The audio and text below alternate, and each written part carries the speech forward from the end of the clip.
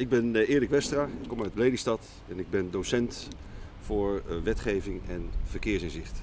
Daarbij doe ik ook de praktijkopleidingen. Dus voor de instructeurs in wording die examen gaan doen voor praktijk, neem ik ook die lessen af. Jij bent ook destijds gewend om les te geven vanuit de boeken. Ja. Nu is, eh, bereiden mensen zich online voor, zeg maar. Hè? Ze kunnen dingen uitprinten. Wat is nou met name het verschil voor jou als docent? Ehm, het verschil is met name dat de mensen voorbereid eh, op, eh, op eh, les komen, dus in de klas komen. Je kunt dus als docent kun je makkelijker door de stof heen. In plaats van dat je eerst alles moet uitleggen en daarna bijvoorbeeld toetsen kan geven.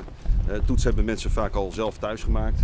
En je kunt je nu je tijd besteden om echt de puntjes op de i te gaan zetten. Ja, precies. En wat is het verschil dan voor de cursist? Cursist is dat ze eh, eh, veel meer aan de les hebben hier. Dus eh, hebben ze vragen tijdens het leren thuis, in het voorbereiden. En dan kunnen ze hier de vragen stellen. En dan zullen hier de vragen ook be- beantwoord worden. En behandeld worden ook. Ja. Hoe ziet zo'n les in het leslokaal er dan uit? Wat zo'n les, hoe die eruit ziet, dat is, we beginnen met de vragen. Dus of de, voor de cursisten vragen zijn over de te behandelen lesstof die ze thuis hebben voorbereid. Dan ga ik zelf wat vragen stellen of ook inderdaad de lesstof eh, goed begrepen is. Eh, de toetsen worden besproken die ze thuis hebben voorbereid. En daar worden ook de fouten die daarin gemaakt worden, dat kan ik namelijk zien eh, in het hele programma hoe de cursisten het hebben gedaan. Welke vragen zijn er het meest fout beantwoord. Daar kunnen we dan nog wat extra uitleg over geven. Vervolgens ehm, wordt er dan ook nog gebruik gemaakt van casussen. Dus we hebben een aantal casussen samengesteld.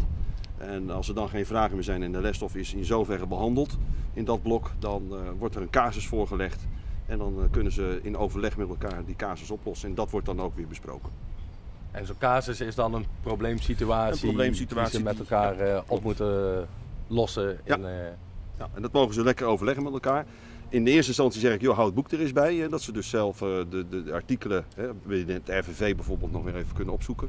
Maar ik doe het ook wel eens. Zeg, jongens, eh, boeken dicht, eh, laptops weg. Ik zeg, ga het nou eens gewoon uit je hoofd doen. Dat wordt ook nog wel eens gedaan. Oké, en eh, wat valt dan op? Ja, dat sommigen nog wel even wat moeite hebben welk artikel het nou precies is. Dat is ook niet echt belangrijk voor het examen, dat ze het artikelnummer weten. Maar wat ik wel belangrijk vind, is dat ze de stof moeten beheersen. Ja, precies. Dus je ziet dat tijdens zo'n lesdag meer rendement is dan vroeger met, als je met boeken werkt. Absoluut. Merk je dat mensen veel vragen stellen als ze thuis aan het studeren zijn? Ehm, ehm, soms wel. Ehm, wat ik altijd probeer en ook altijd direct aan het begin eh, zeg is, eh, wat wij het liefst hebben is dat jullie het met elkaar doen. Hè. Probeer elkaar te steunen. En Dat zie je nu ook veel meer gebeuren. Dat is ook veel leuker nu.